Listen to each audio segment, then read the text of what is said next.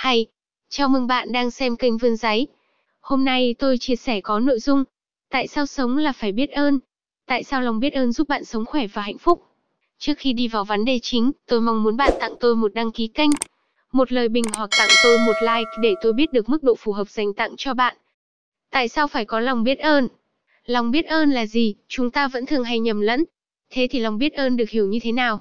Theo quan điểm của tôi thì được hiểu như Lòng biết ơn là phẩm chất cần có và nên có ở mỗi người, nó góp phần hoàn thiện và phát triển nhân cách của chúng ta. Khi nhận được sự giúp đỡ từ người khác, chúng ta cần ghi nhận và trân trọng những gì mình có được. Khi cho đi chúng ta không mong được đền đáp, khi giúp đỡ chúng ta không chờ đợi lời cảm ơn nhưng lòng biết ơn luôn được thể hiện trong suy nghĩ, cũng như hành động cụ thể của mỗi người. Cuộc sống đem đến cho ta cơ hội cùng với khó khăn, khi mọi thứ không xảy ra theo cách mình muốn, chúng ta hãy cố gắng chấp nhận để vượt qua. Có thể khi bạn thất bại sẽ có người sẵn sàng giúp đỡ bạn, cho dù là người lạ hay người quen thì bạn vẫn nên cảm kích và nhớ ơn của họ. Không chỉ biết ơn cha mẹ, biết ơn những người giúp đỡ khi ta gặp thất bại mà ngay cả những người đẩy mình vào hoàn cảnh khó khăn, để bản thân có thể nhận ra mình thất bại ở đâu và nên làm lại từ đâu. Đừng vội oán trách mà hãy biết ơn họ, vì họ đã giúp chúng ta có thêm nhiều bài học kinh nghiệm trong cuộc sống. Nuôi dưỡng lòng biết ơn mang lại cho bạn những lợi ích to lớn về mặt sức khỏe cũng như chất lượng cuộc sống. Sống biết ơn giúp con người có xu hướng ứng xử tử tế và có văn hóa hơn. Lòng biết ơn tạo cho ta niềm hạnh phúc, tâm trạng lạc quan, vui vẻ.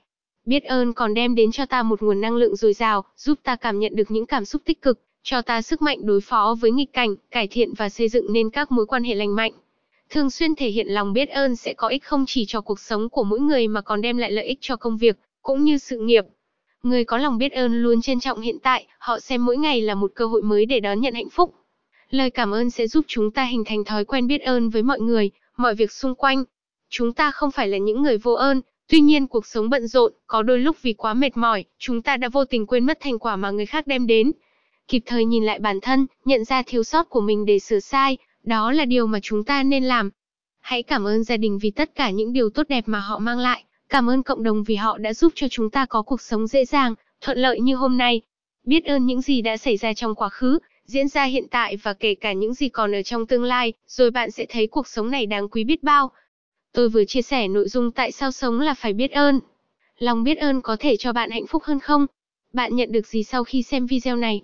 Tôi mong muốn bạn hãy thể hiện quan điểm của bạn để tôi biết video có phù hợp với bạn không. Cảm ơn bạn đã xem video. Chúc bạn vui vẻ và hạnh phúc.